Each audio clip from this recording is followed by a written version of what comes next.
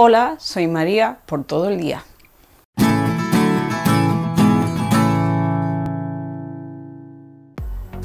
¿Tenemos derechos las mujeres Asperger?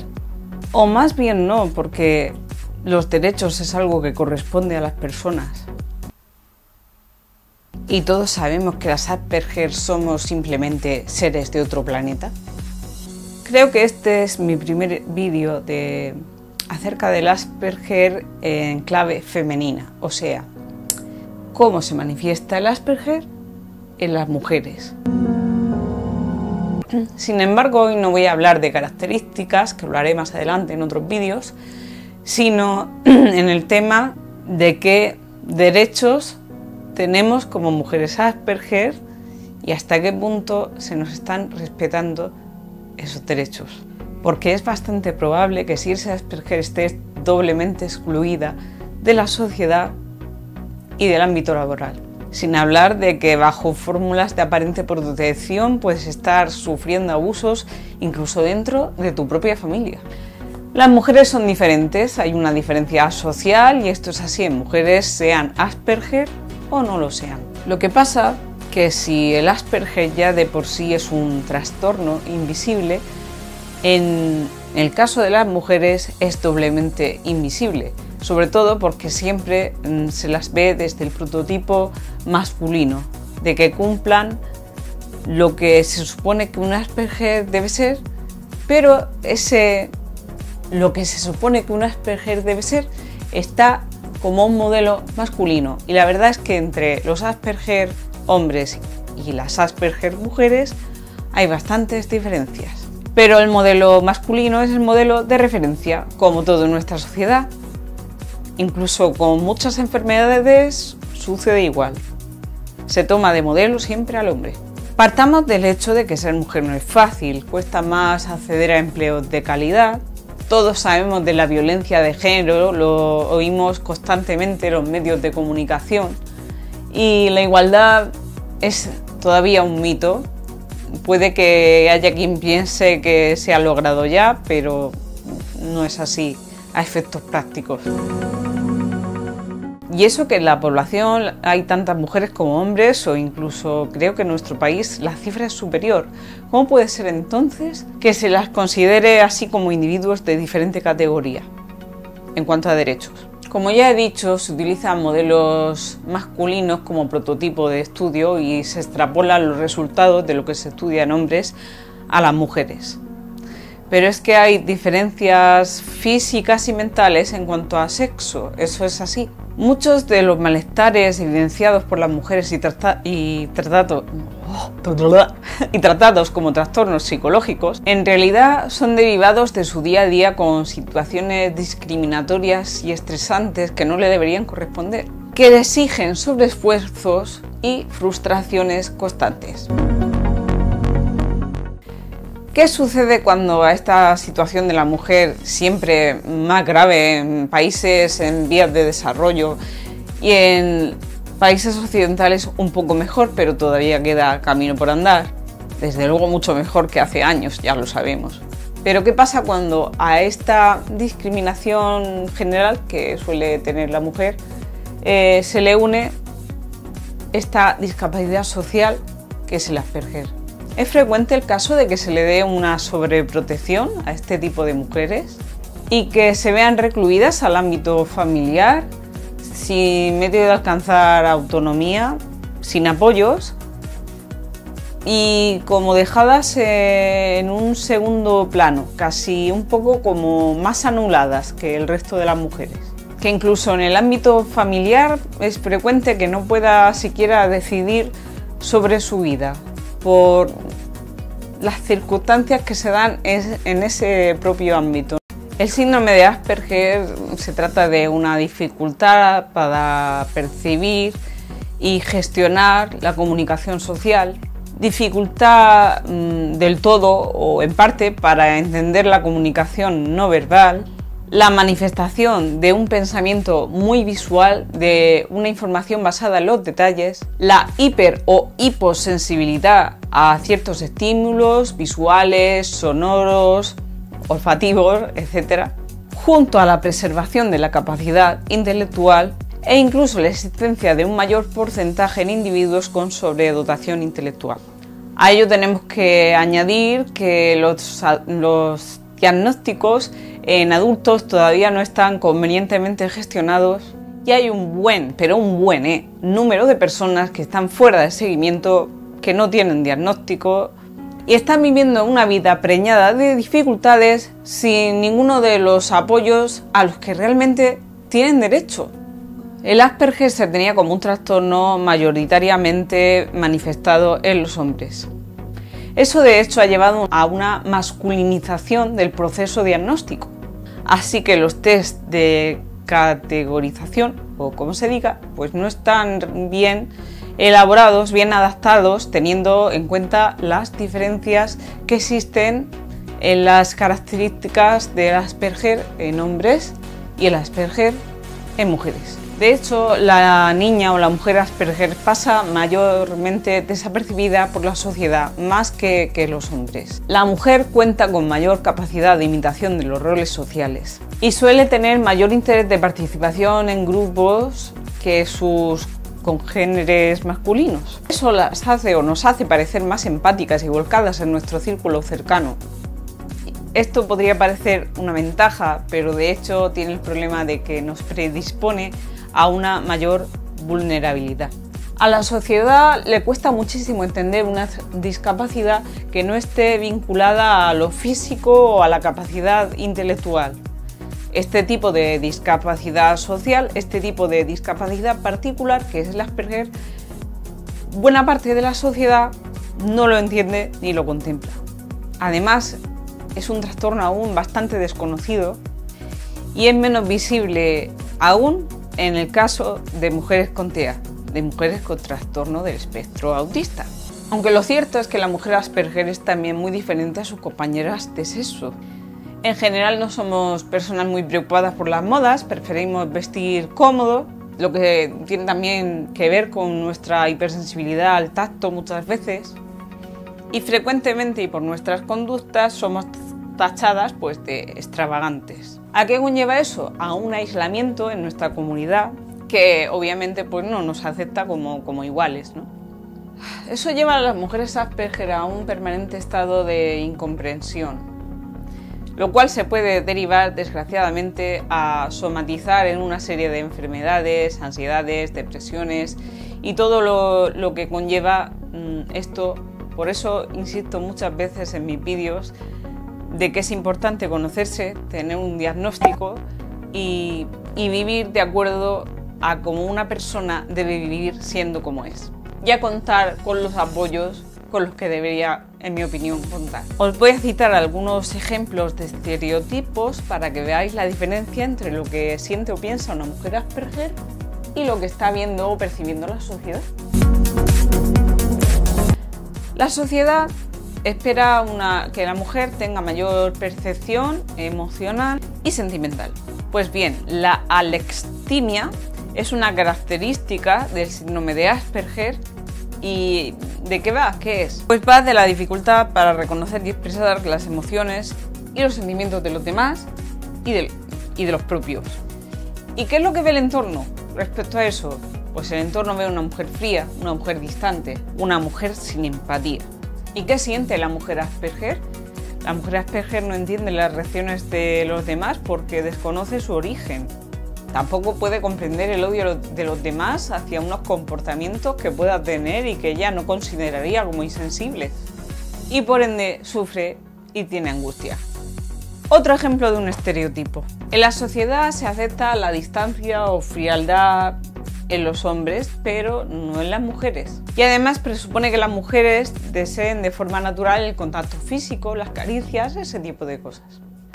Otra cosa que se suele dar en Asperger puede ser la sinestesia. Esto es la hipersensibilidad a los estímulos sensoriales, que genera situaciones que ponen en posiciones bastante vulnerables a las mujeres TEA. Cuando se intenta incluir en el espacio social, y en el espacio íntimo de una relación de afecto, en pareja o, o en familia. ¿Qué ve la sociedad entonces de la mujer Asperger? La sociedad ve que no asiste o no participa en las reuniones sociales. la considera maleducada, la considera una mujer desconsiderada, una mujer fría, una mujer egoísta. Y por contra, ¿qué siente la mujer Asperger?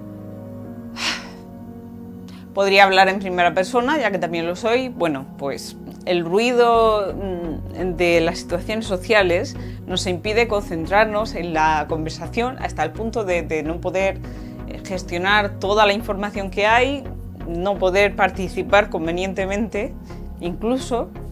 Y en muchos casos eh, tenemos hipersensibilidad al tacto o a las caricias. Incluso hay en casos que las sienten como dolorosas. No es mi caso, pero sí conozco un Asperger que, que le pasa y esto se percibe como que es una persona fría y desconsiderada, como digo. Pero ella se siente simplemente sola y frustrada.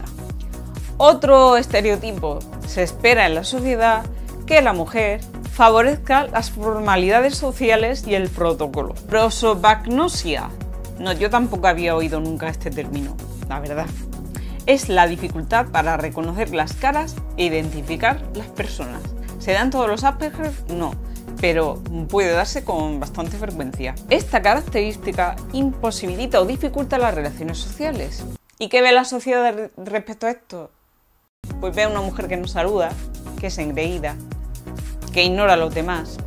Y doy fe porque, bueno, no es que tenga exactamente una dificultad para reconocer las caras, pero sí me cuesta acordarme muchas veces o he ido sumida en mis pensamientos y no he visto a gente conocida y no les he saludado por eso. Seguramente me habrán tenido por todo esto que acabo de decir, por una engreída, una maleducada, una... Sí, pues, pues eso. Y bien, ¿qué siente la mujer Asperger? ¿Qué sentimos nosotras? Pues sentimos inseguridad. En muchos casos, si alguien cambia de ropa o de peinado, ya la mujer Asperger es incapaz de reconocerlo eso me pasó a, mí una vez con una chica de, una farmacia que se había cambiado de hecho de peinado, se había hecho otro corte de pelo y yo ya pues no, no la reconocí, o sea que, sí, que sí me pasa en buena parte. Así que la mujer Asperger se siente desorientada y angustiada. Ahora voy a comentar dos riesgos que puede tener la mujer al ser Asperger. Como solemos ser mujeres que no entendemos a veces la ironía en los dobles sentidos, somos más susceptibles de ser víctimas de maltratos, sean, mm, vale, físicos, pero también psicológicos. El lenguaje Asperger suele ser una comunicación basada en la literalidad. Pero la mujer Asperger no entiende por qué siembra disgusto en los demás. Simplemente se siente insegura y hasta ridícula a veces, fuera de lugar.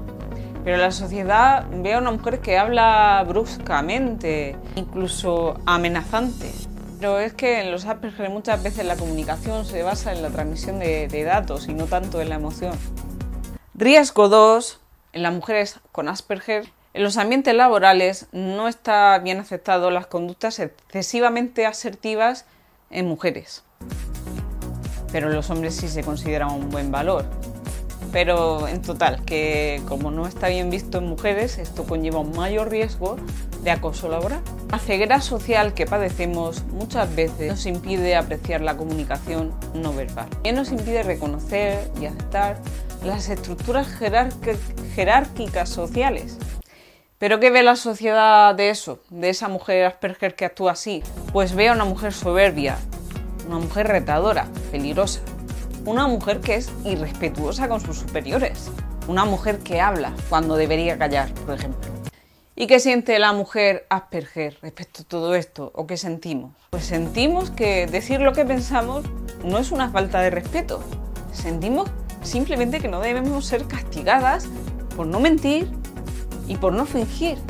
En fin, concluyendo ya, la mujer Asperger, las mujeres Asperger somos mujeres, como diría yo, para nunca que generalizar en exceso, pero trazando un pequeño cuadro, diríamos que somos mujeres muy sinceras, mujeres bastante objetivas en algunos casos, mujeres peligrosamente confiadas y crédulas y hasta inocentes, al creer que todo lo que dicen los demás Es verdad.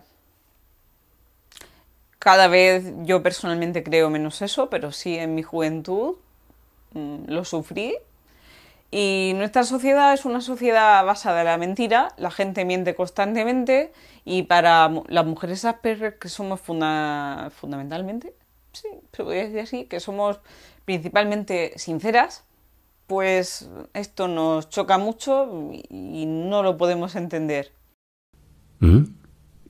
Por eso es importante que conozcamos cómo es nuestra sociedad para no vivir en la inocencia y, sufrir mm, de los maltratos o del acoso o de lo que sea, de lo que si no tenemos cuidado podemos ser más víctimas, más víctimas de, esto que otras personas por ser, como digo, más vulnerables al engaño, al maltrato y todo esto. Realmente no entendemos los roles sociales, no entendemos las jerarquías, no entendemos que tenga que haber gente que está superior, en un escaño superior a otra gente, escaño o pelaño superior a otra gente, lo de escaño va más bien por política. No entendemos eso, entendemos de derechos del individuo, entendemos de una igualdad que como seres humanos tenemos todos y no consideramos más jerarquía que la que nace del respeto hacia el respeto los unos con los otros y la sabiduría. Digamos que otorgamos más respeto a la gente más sabia, lo vemos más bien así, no a jerarquías que a nosotras nos parecen más bien arbitrarias. En fin, con este panorama podríamos pensar que las mujeres Asperger está bien difícil gozar de, calidad de vida. Pero sí hay una salida y es la de conocernos y es la de dejar de ser invisibles. Realmente es el desconocimiento lo que hace que el entorno rechace y, y encapsule a la gente simplemente diferente. Pero tenemos que testimoniar la diversidad, como se hace eh, en el caso de, otras razas y en el caso de, otras orientaciones sexuales y en el caso de, como ya he hablado, otras discapacidades que pueda haber de otro tipo. Personas tengamos diferencias, simplemente vuelve nuestro mundo más rico e interesante, a mi modo de ver. Pero en ningún caso es una excusa para despojar de sus derechos a una persona, para rechazarla, para marginarla o para cualquier otra actitud negativa hacia esa persona. Que se conozca más el Asperger y que esté presente de forma natural en todas nuestras áreas de la sociedad hará que lo que hoy parece un tipo humano extraño, un, tipo extravagante, simplemente se convierta en, en una persona igual que los demás, en el sentido de con los mismos derechos, con sentimientos y con todo, una persona. Una persona que debe ser respetada con sus diferencias, con sus semejanzas y con sus dones. Así que eso es lo que quería deciros en el vídeo de hoy. Es un primer vídeo, haré más vídeos sobre este tema de hecho me lo han pedido, me lo habéis pedido, sobre el Asperger en mujeres.